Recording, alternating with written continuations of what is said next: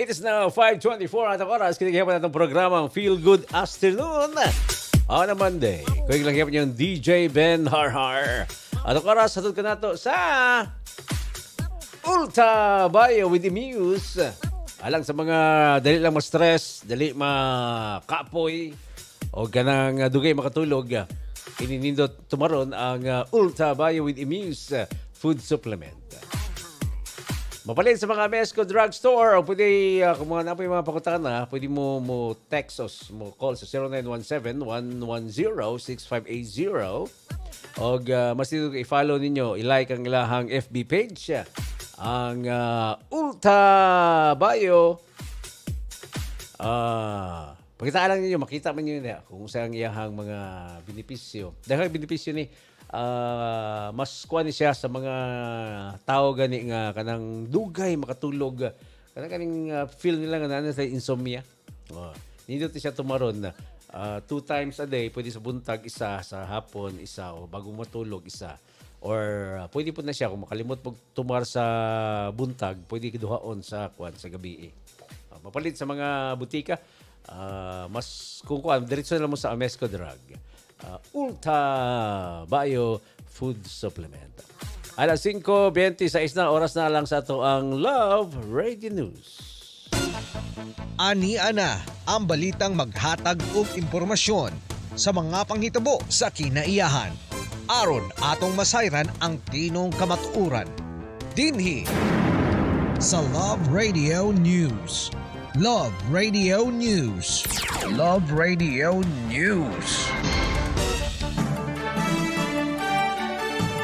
Mayong hapon, aniyan na ang Love Radio News. Adlaw nga lunes, pitsa 26 sa buwan sa Pebrero.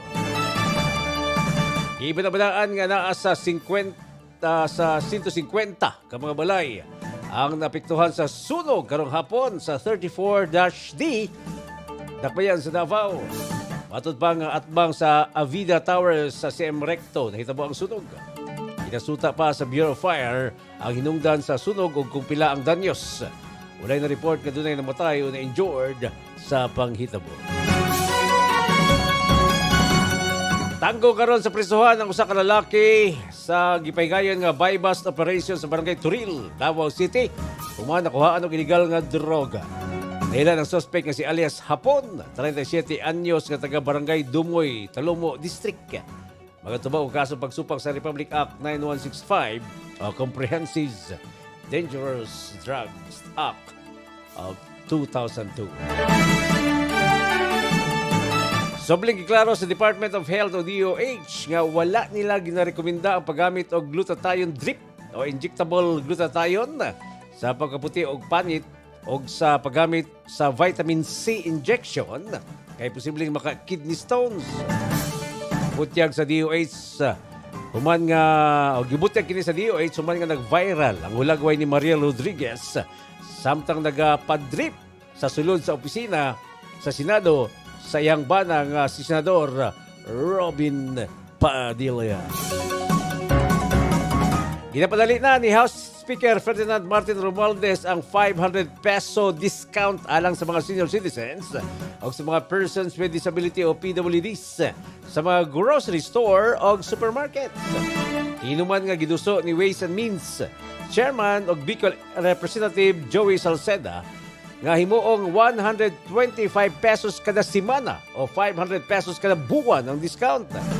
Sa kasamtangan, anaa pa sa 65 pesos kada semana ang discount sa mga seniors o PWDs og uh, o 260 pesos sa usa ka buwan sa mga gipalit sa grocery store. Og mao kadto ang Love Radio News. Ako si Ruben Casanova Jr. Feel good Monday.